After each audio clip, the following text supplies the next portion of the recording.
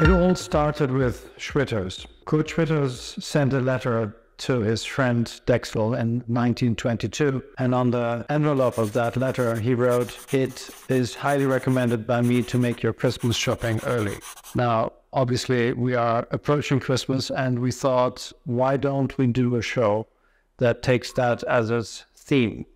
And we did it by combining design, architecture, art, and objects from different cultures, different origins, different regions, and combine them in a concept that we've done in the past in hotels like the Dolder, living with art.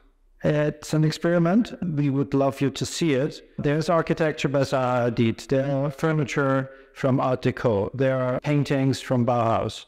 We have it divided in two spaces, one being Paradeplatz, our main space designed by Zaha Hadid, in which we do the more minimalist and the more abstract works combined with furniture, such as Suetin that I'm sitting on here right now, who was a disciple of Malevich. On the other space in Talstrasse, we decided to go more in the direction of pop art, where we have combined furniture by Van Pazzi, surrealist paintings by Matta. We have works by Allen Jones, by the pop artists uh, like uh, Strider, and uh, combine that with furniture from the period 1960s and sometimes more contemporary.